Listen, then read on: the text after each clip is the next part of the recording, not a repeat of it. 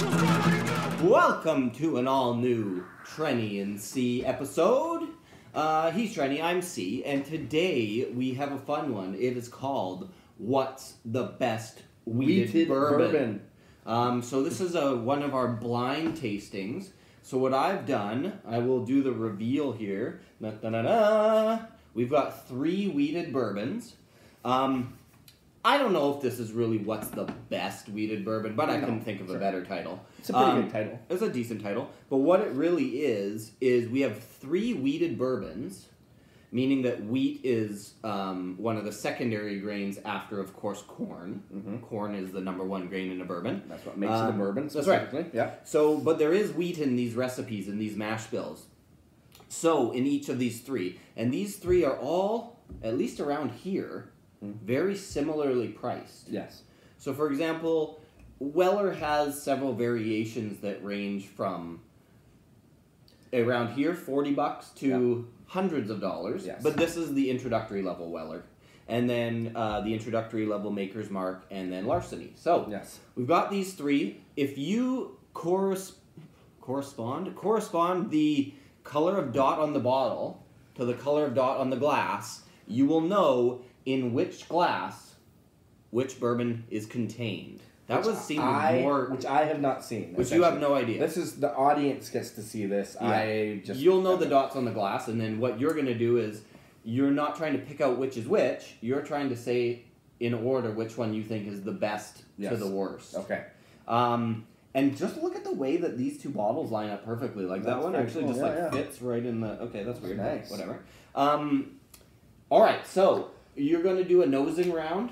You're gonna I am. smell them, I am. and then you're gonna taste them, and you're gonna rank them, and you're gonna tell us which one is the best wheated bourbon. I love these. These. This is a fun thing to Yeah, do. yeah. This is always fun.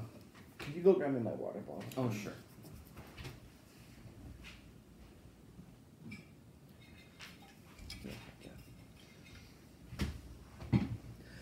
Okay, so I'm gonna just start with, I guess, your left. I'm gonna start with a clear glass here, Oh, and sure. this is the red dot. Why am I not drinking anything? Carry on. I'm gonna get myself something. Okay, this is nice and light. There's almost kind of some uh, green apple characteristics to this bourbon, which you don't get very often with bourbons. I love the nose. It's really light, really nice. Sweet. You're on the red. I am dot. the red dot. Red dot. Yeah, nice. Okay, I'm gonna move on. I'm gonna, I'm gonna do a speed round here. I poured myself some four roses. Oh, thanks. Um, okay, so this is the blue dot. Okay, this is a little bit um, more nutty, Okay. a little bit more. I want to say kind of like subdued and creamy. Okay. Those are good notes. Better than the usual okay. Okay. Okay. Moving on to the green dot here. Okay. Green dot. Green dot. Oh, this is also kind of in the same realm as this uh, blue dot, From what perspective? in that it's kind of creamy. Okay. It's not like this one's really bright and really like has some apple characteristics to it, fruity Okay. characteristics. Yes. Even a little bit Apple's typically reserved for like a scotch. like a scotch, but it also maybe even slightly, slightly cherry. Mm. Going back to the blue. Oh yeah, oh yeah, indeed. this smells a little spicier Okay. than than the red, a little bit of spice. and then it. now green one more time. I'm having a harder time pulling notes from this green one. Mm. A real brain buster. exactly. Okay, do you know what? I'm gonna go. That was my nosing round, round one. I am going to Have you put them in order of best nose? not really yet. Okay. Um, I'm gonna just sip on this red one now. Sipping I. I think so far the nose on the red is my favorite. Okay.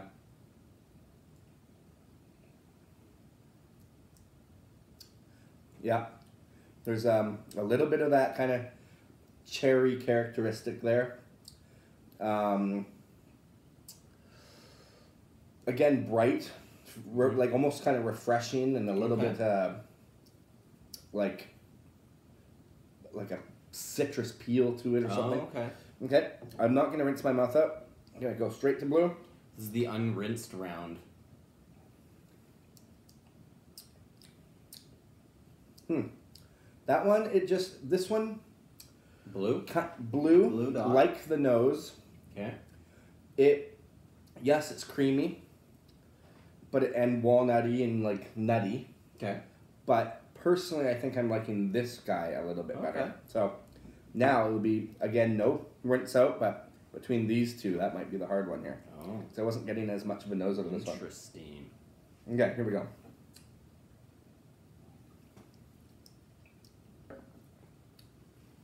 Mm, okay. I. This one has a little bit more heat, a little bit more spice to it, Mm. um, a little bit more. Just kind of something going on. It's not as walnutty necessarily or anything like that. They they're three different. You know what's interesting is What's they're that? all very similar percentages. Oh, okay. 45, 45, and 46. Yeah. So very good comparison. Yeah, and so I- one's tasting a little hotter, is what you're saying. yeah, but I'm kind of liking the heat a little bit. Oh. more than the walnuttiness. So okay. I think I'm gonna put it in this order now. Interesting. Um, and now I'm gonna do a rinse out round. Oh, good, good plan. We wouldn't want anyone to question your results or your thoughts. Yes, I know because everyone else is right. You know, when you put yourself out on social media, YouTube included, uh, you open yourself to other people's opinions. Yes, and harsh criticism. And what we have to do though is we have to try and blank that out and just maintain our own opinions, For our sure. own thoughts. Of course, and I think sometimes though some of these are productive criticisms. Oh, for know? sure, for sure. So- we've, we've learned from things that people have, have said. Yeah. Okay, here we go. I'm gonna sip on the red. Going back to red, round two of red tasting. Okay. I know already that I like this one the best. Okay. In flavor, I'm gonna rinse my mouth out just to make it completely Sure. fair. Make sure. Okay. Number two is now green. It moved up a Oh. step. The nose isn't doing as much for me, but as soon as I get to the flavor here,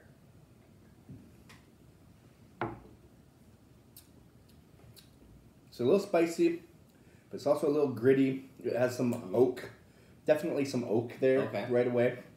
Um, Is the gritty a good thing?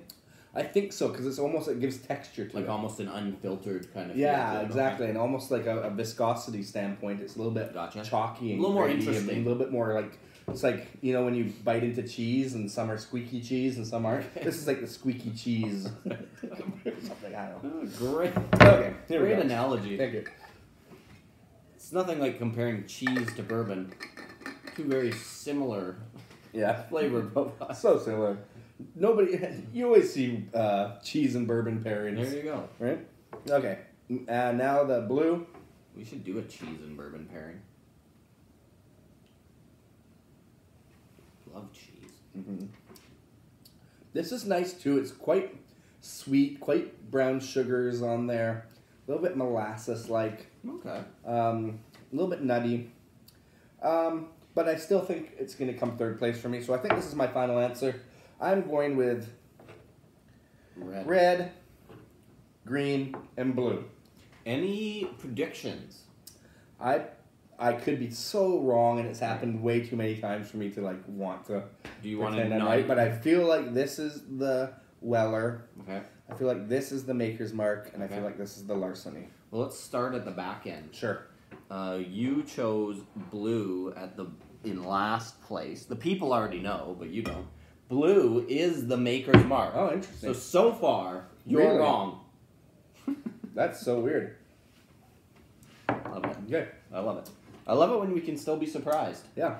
Green Mm-hmm. is the larceny, Okay. meaning Weller was your favorite. So you actually chose Weller, larceny, and then Maker's Mark. That's and I was very convinced that this this one here was the Maker's Mark because Interesting. this one seems nuttier than this one. But let's try it again.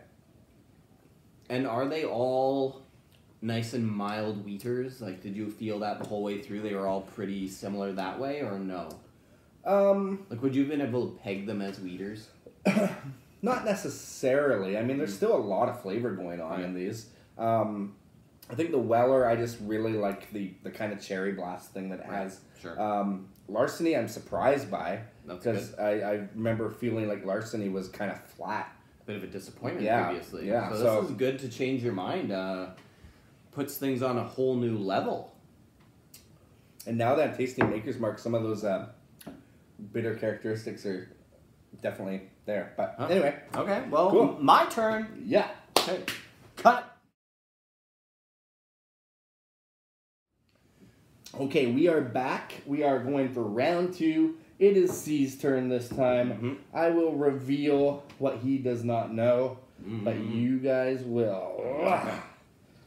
Okay, I'll start over here on the clear glass. We did we mention that we have our C uh, blind tasting glasses out here today, Very cool. and then one normal glass which won't tell you much because you have nothing to compare it against. So, Right. Yeah. um, I'm starting with a, blind. with a yellow dot.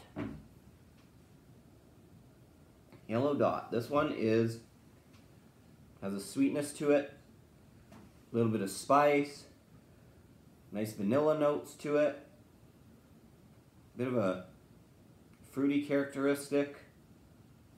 It's nice. It's nice nose. It's a bit.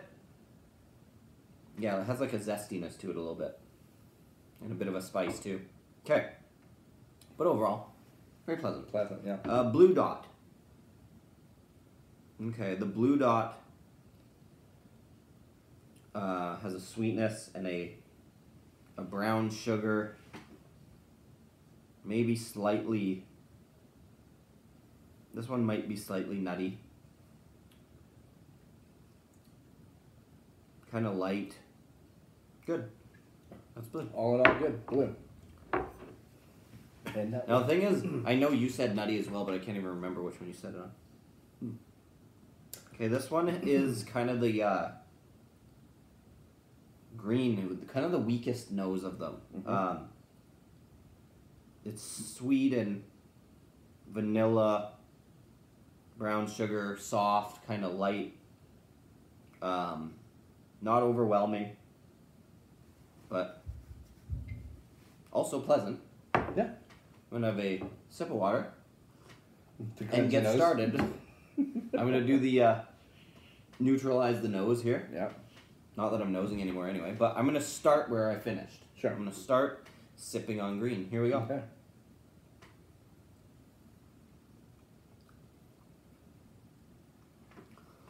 Okay, the flavor of green kind of matches the smell of the uh, of the blue. Oh, really? it, it kind of tastes like it's a little bit nutty to me. Interesting. Um, gosh, now I'm smelling like almost like a peanut butter kind of thing going on in Mm. green. Mm. We don't get that note very often in uh, bourbon. Well, in whiskey. But it has like a bit of a yeah, like a creaminess and a vanilla sweetness to it. Maybe even a slight bit kind of nutty to it. Mm. Maybe even a little bit of like when I say peanut butter, I'm not talking about like the really strong boldness of peanut butter, just like a hint, but it's kind of there. well, I mean, I It's wasn't good. really talking about like squeaky cheese either. Yeah. Nothing pungent. Everything's very like metaphorical in like the whiskey world. yeah.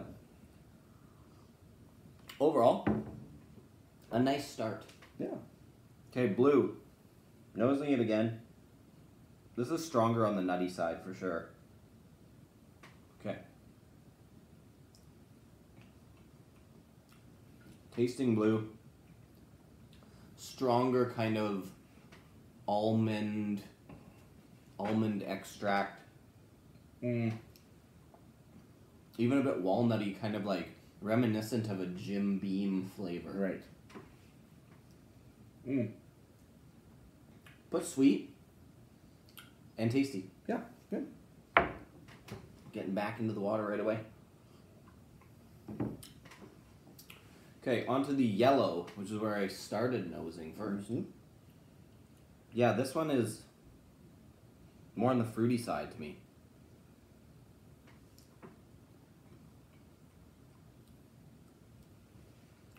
Okay, a bit of a more mild flavor profile. Mhm. Um, like these ones seem on first taste to be bolder than this one. Right. This one seems to be subdued. And I don't know if I like that. Like, There's nothing wrong with it.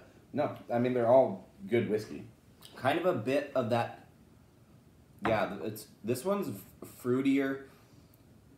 This one's nuttier, and this one's kind of like a softer, softer version. Hmm.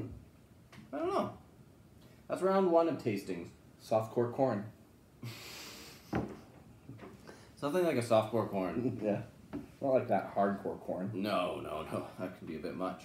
Okay. Um. Now I'm gonna start in the middle because I'm just gonna. Oh sure, just Okay, it's gonna be final answers. everything around. Already a bit confused. Mm. Blue. Little bit of kind of that alcohol to it, Yeah. and a little bit more um, unfinished. Mm. Ru- it's a bit of a ruffian Okay. versus the other two. Mm. I'm gonna start with it in last place. Ah, okay. Sip. So you There asked me, are these obvious wheaters to you? I could, I could easily mistake this for Jim Beam if someone gave it to me. Right. Like I don't know which version of Jim Beam because it's got a lot more, f- like it's a little bit bolder than a regular Jim Beam. Yeah. But like I could see myself thinking this is like the signature craft twelve or something. Yeah. You know. Okay, this one I said was kind of a bit of softer and milder, but the nose is kind of coming to me a bit. I said this one had a little bit of a peanut butter thing going on, and uh,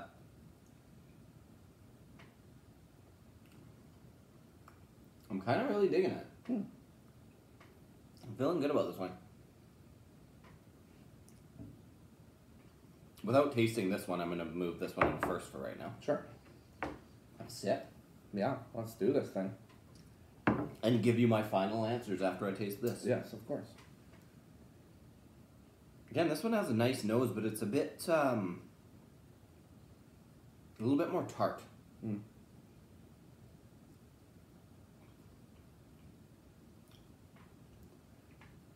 Yeah, and I, I shall maintain the thought that it's the fruitiest of the bunch. Okay. And I'm kind of just happy to leave it right there.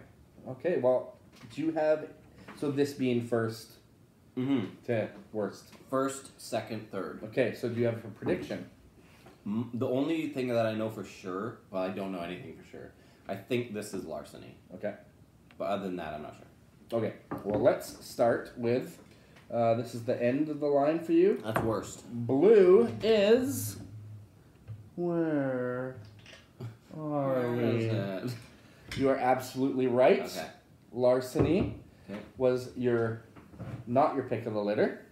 And you, what was your last place? Maker's Mark? I believe so. Yeah. Yeah. Okay. Uh, predictions? No. I don't know. Okay. So this one here is yellow, and that would be Weller is second place for you, which obviously leaves Maker's Mark in first place. So your worst was my first. that happens a lot, doesn't it? yeah. And your first was my second, Yes.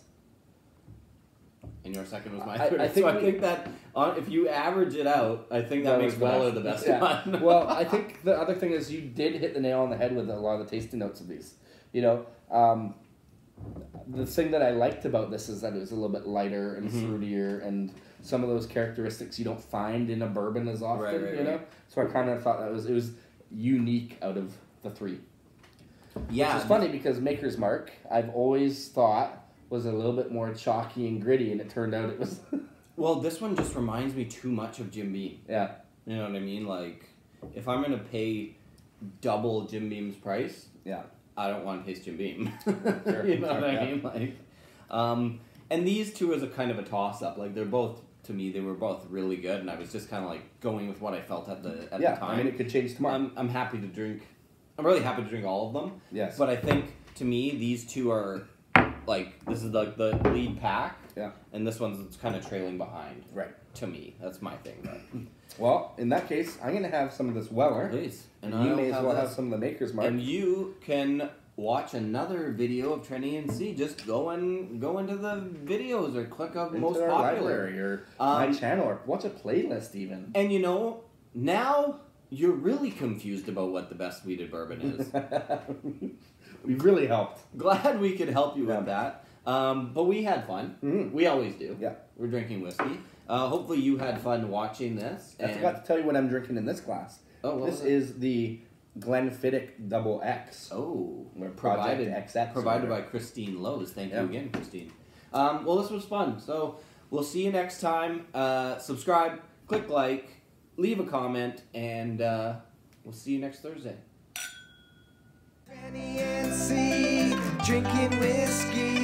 Describing all the flavors for you and me. Irish, Scotch, bourbon, and rye. If they like a bottle, they'll tell you why. Subscribe on YouTube.